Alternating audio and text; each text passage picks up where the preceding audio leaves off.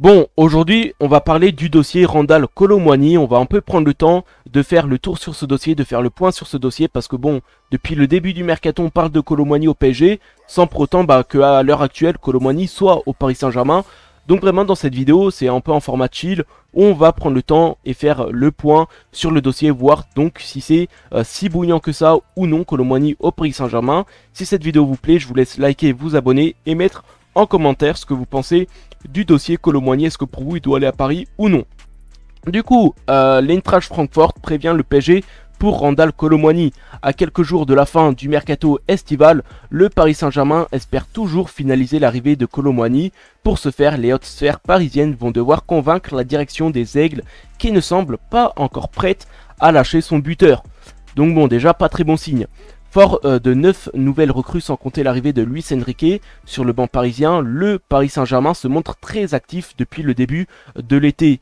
Euh, mais voilà, les dirigeants euh, franciliens ne sont pas encore rassasiés et aimeraient bien s'offrir Bradley Barcola, donc le lyonnais, ou, ou en plus Colo Moigny.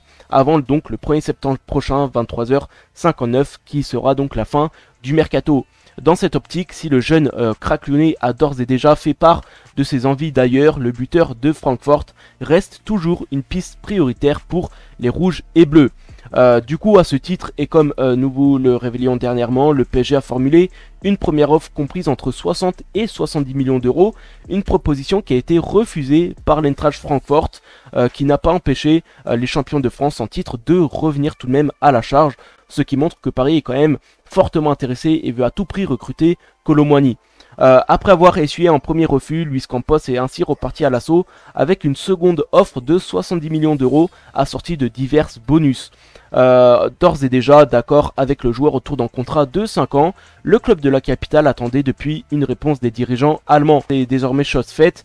Euh, ce dimanche, après le nul arraché par les Aigles sur la pelouse de Mayence, les hautes sphères de Francfort ont en effet apporté des nouvelles précisions sur ce dossier, donc sur ce bouillant dossier même. La situation n'a pas évolué, il est vrai que nous sommes trop éloignés l'un de l'autre pour le moment. Nous verrons ce qui se passera dans les prochains jours, ainsi assuré Marcus Krosch, euh, directeur sportif de l'écurie allemande.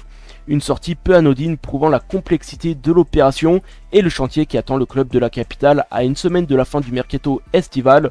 Relancé sur le sujet, le coach de Francfort, euh, Dino Topmoller, semblait lui impatient de voir ce dossier finalisé.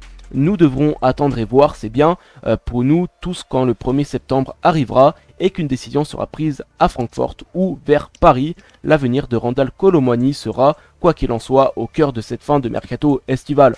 Donc voilà, on peut voir que Colomwani au PSG, bah ça chauffe, mais c'est plus du côté de Francfort que Prolan. Ça bloque un petit peu, mais ce n'est pas tout parce que il y a d'autres infos qui sont venues euh, tomber il y a quelques heures de cela. Euh, et en homme fort du côté du Paris Saint-Germain pourrait débloquer donc ce transfert là, et ça pourrait être la clé même de ce transfert.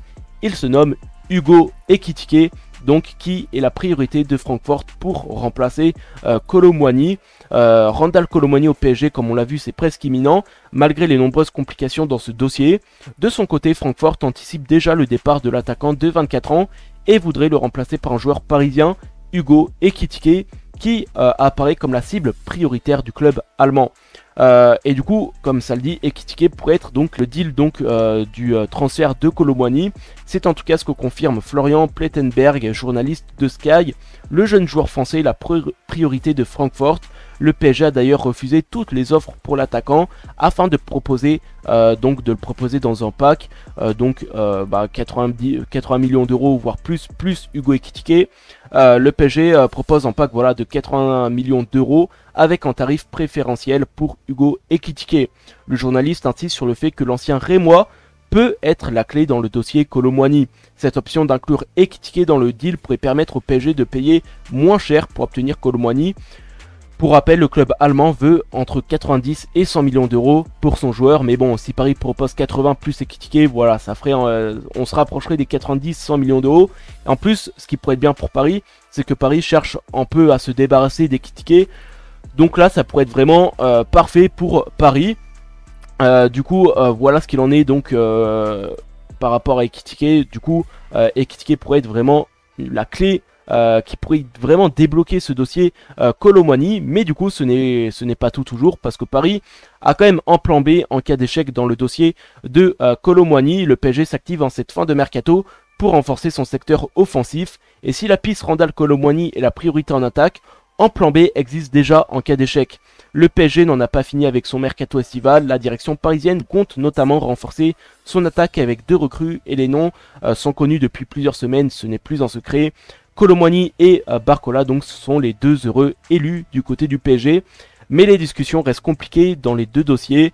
Et en cas d'échec, des plans B sont déjà prévus à l'image déjà de Johan Bakayoko, joueur du PSV Eindhoven pour remplacer donc euh, Bradley Barcola. Et pour remplacer euh, donc concernant Les discussions se poursuivent entre le PSG et Francfort, donc comme on l'a vu précédemment. Après avoir refusé deux offres de 60 millions et 70 millions d'euros, les dirigeants allemands se montrent intransigeants et demandent toujours entre 90 et 100 millions pour céder euh, leur attaquant de 24 ans. Mais si Francfort se montre trop gourmand dans leur dernière ligne droite du mercato, le PSG pourrait aller voir ailleurs, même si l'international français reste tout de même la, priorité du Paris Saint-Germain. En effet, selon Bruno Salomon, le club de la capitale a déjà son plan B en tête. Toujours selon le journaliste de France Bleu, euh, Paris, cette piste mènerait à un attaquant de Première Ligue dont le nom n'a pas encore euh, filtré. Les derniers jours donc du mercato pourraient donc apporter euh, quelques surprises dans le dossier Randall Colomwani, mais du coup voilà Paris même s'ils sont toujours à fond dans le dossier, même si le dossier ça reste bouillant, ça, ça peut se faire, euh, Paris sont quand même proches d'un accord avec Colomani, ils ont tout de même en plan B en tête, bah, que ce soit pour Barcola ou pour Colomani, parce que bon, ils sentent que voilà, ça se complique un peu, que du, côté de Francfort ça bloque un peu, eux ils veulent vraiment laisser partir leurs joueurs pour une très très grosse offre. Donc est-ce que Francfort va être après toujours aussi chaud à l'idée de, euh, prendre Hugo Ekitike à la place de Colomani? Parce que bon, tu remplaces Colomani par Ekitike. Je sais pas si c'est vraiment euh, l'affaire du siècle, mais euh, donc voilà, affaire à suivre. Mais voilà, au moins on a fait vraiment petit, en gros tour sur ce dossier, on a un peu tout vu. Donc oui, Colomani au PSG, ça reste bouillant. Il reste plus beaucoup de jours avant la fin du mercato, ça reste très chaud.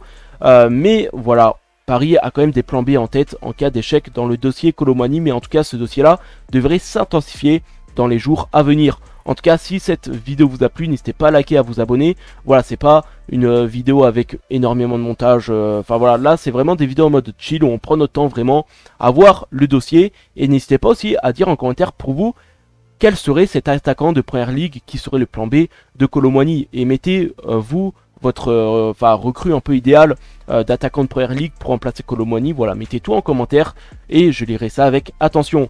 C'était Natas Passez une excellente euh, soirée ou journée, ça dépend quand vous regardez la vidéo. Et euh, si le dossier avance, j'en referai une vidéo prochainement. Passez une bonne journée ou une bonne soirée, et moi je vous dis ciao.